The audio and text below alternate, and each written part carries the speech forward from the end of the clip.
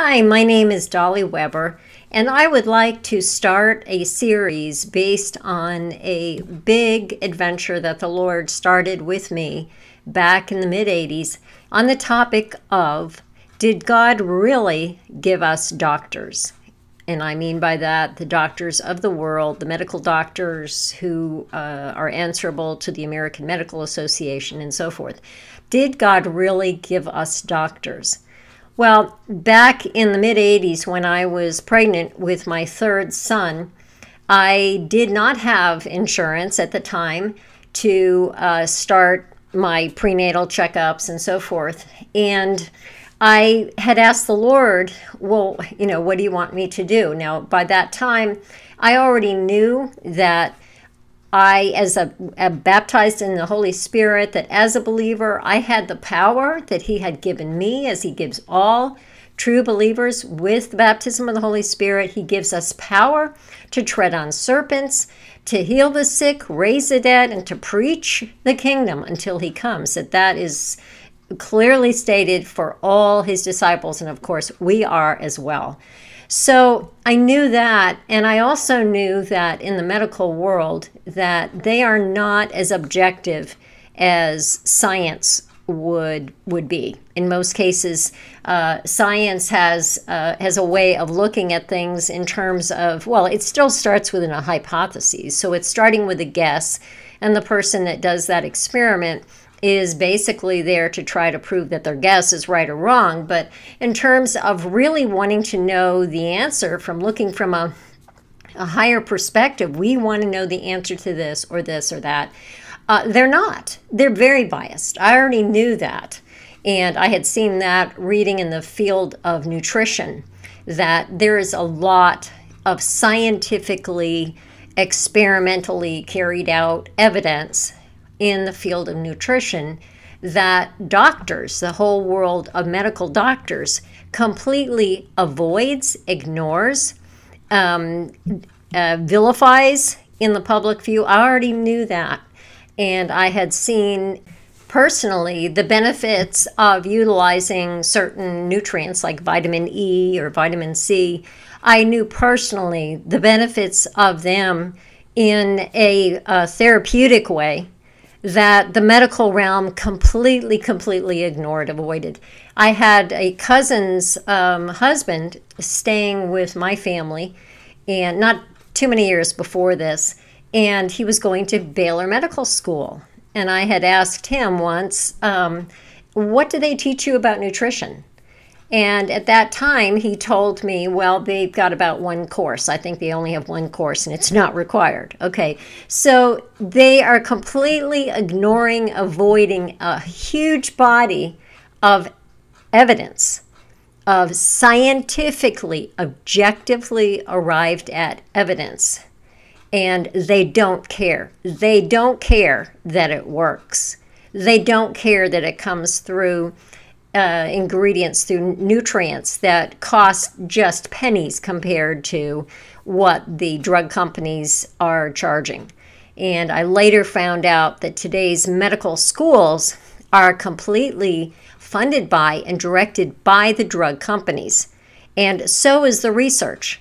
So they're not even entertaining. They will not even entertain the scientific research in other categories that do not involve medications and drugs.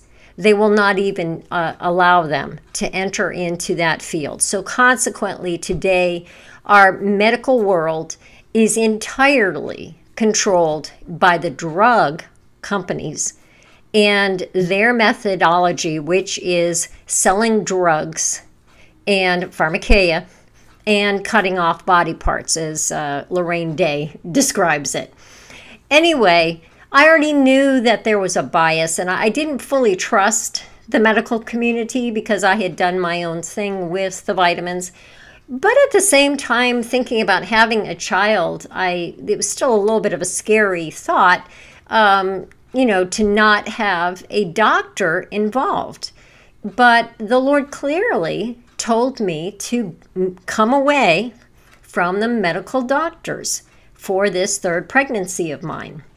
So I, I knew that he was telling me this, and I knew that I did not know why. I didn't know all the answers, but I stepped out in faith.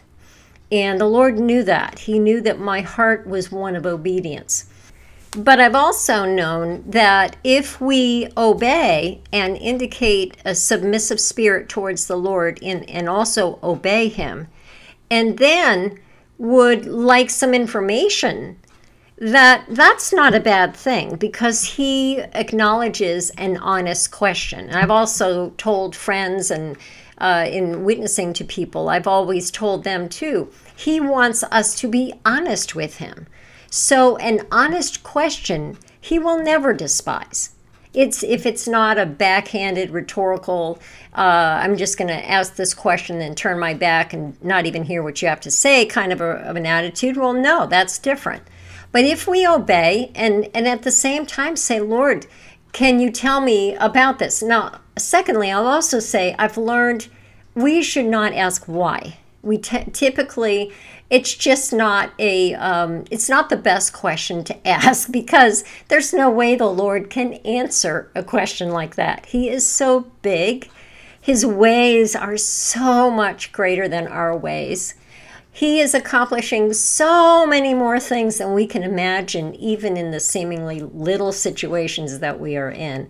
So, why is kind of a silly question to ask him. So, over the years, I've learned to ask him, Can you talk to me about this?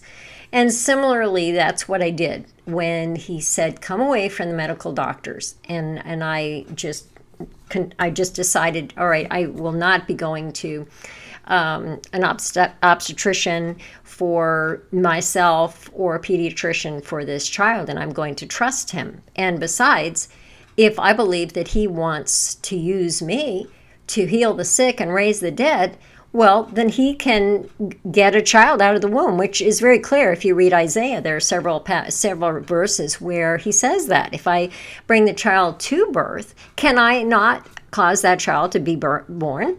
Um, so it was a new realm, but I trusted him. In the meantime, I asked him certain things. I asked him a lot of questions because I had never known anyone who took this road. I learned later that there were, but I didn't know about them. I was fresh to the whole Pentecostal thing.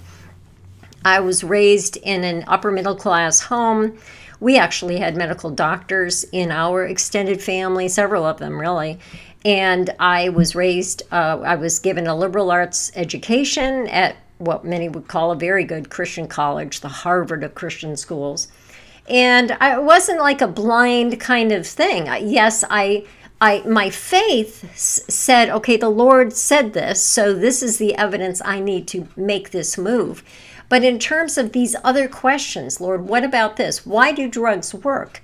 why you know I, I know that doctors are limited but not at all not using them at all so he took me on a journey and very very quickly showed me uh, i mean the amount of things that he showed me eventually i had to put them in a book and i did put it in a book and that too is awaiting to be published but in the meantime, we are in a very late time in history. I believe that the rapture uh, will happen soon.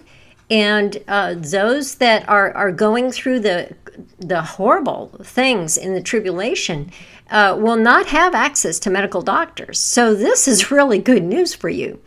But in the meantime, I saw that not only are doctors imperfect, biased, not only are, as a community have they completely bypassed and demonized actual remedies to things like cancer. And I can also cite a link below where they clearly have uh, eradicated several different cures for cancer because cancer is actually a very simple kind of affliction that is treatable from the inside. And again, medical doctors don't study the inside, i.e., nutrition, how a person eats, and the things about their lifestyle and, and so forth that are what cause cancer. They are trained with medicine, with drugs that have to be bought. And, and if you look at them, they can cost over $10,000, of which the oncologist gets a profit from.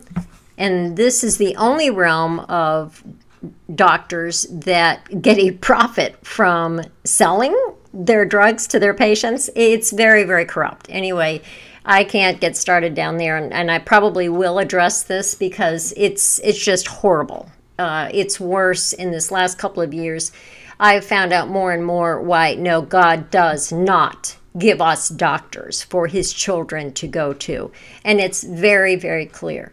And the reason why I'll tell you when I really had the burden to write this all down, which was in the late 90s, was when I saw too many Christians, true Christians, true believers, that were facing a disease or their child was facing a disease, and they were combining the two. They were combining prayer with medicine. And what the Lord showed me is well, this is not from Him. So therefore, when we go to doctors, we are dividing our faith. And most Christians don't know that. So you're providing a snare for yourself as you are interceding for yourself or your loved one.